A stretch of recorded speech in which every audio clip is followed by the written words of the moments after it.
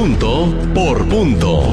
Hola, ¿qué tal? Muy buenas tardes. Hoy es el día martes 18 de abril y estas son las noticias más relevantes del día de hoy.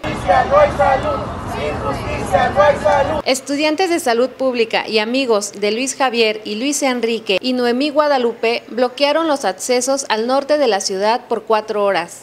Exigen justicia por el asesinato. Punto por punto. Entablaron acuerdos estudiantes y autoridades para mejorar las condiciones de seguridad en ese corredor universitario y fue así como retiraron el plantón. Entonces parte de los acuerdos fue llevar unas, sesiones de mesas de trabajo, haya una persona o haya personas enlaces del municipio de donde haya personas enlaces de las secretarías de eh, seguridad, de, de las partes que tuvieran que ver con el tema del alumbramiento. Punto por punto. Durante esta movilización, los estudiantes afirmaron que 273 personas han sido asesinadas en el primer bimestre de este año.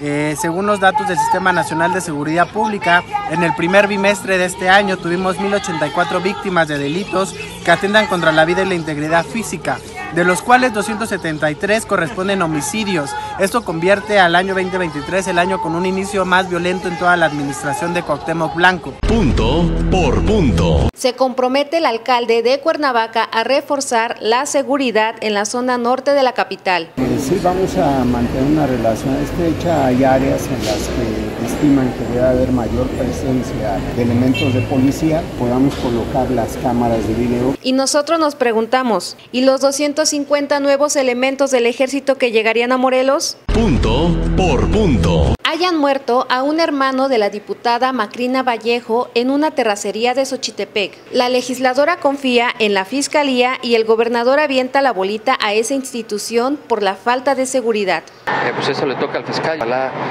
y tenga una investigación y que sea pronto, porque pues, saben ustedes este, las, las, investigaciones este, las da el fiscal y bueno, en todas este, estas investigaciones ha tardado. Punto por punto. Detienen vecinos de Huitzilac a un ladronzuelo pero misteriosamente se les escapó a los elementos de la policía municipal. Punto por punto. No, definitivo de Tetlama a la minera Zacateca Silver. Y el pueblo de Tetlama exige que, que, se apruebe la ley minera, porque no vamos a esperar un plan B o un plan C. Esto es de carácter urgente porque la empresa minera ha dividido a las familias en Tetlama. Punto por punto. Vecinos de la Barona de Cuernavaca protestan en el centro de salud. Esto fue lo que exigieron.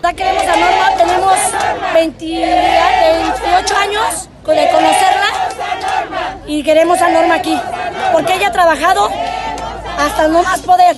Punto por punto. En pie de lucha, el sindicato de maestros contra el ISTE. Muchísimos eh, trabajadores de la educación padecen esta problemática, padecen el que hay desabasto de medicamentos, padecen el que están esperando una consulta de especialidades porque eh, está saturado el, el, hospital, por ejemplo, de, de Zapata. Punto por punto. Campesinos de la zona sur amagan con volver a tomar carreteras. Se sienten ignorados. Punto por punto. Yo soy Perla García y te sigo invitando a que te suscribas a todas nuestras redes sociales para no perderte en ningún momento de la información más importante del estado de Morelos. Nos vemos el día de mañana. Punto por punto. Periodismo plural y oportuno.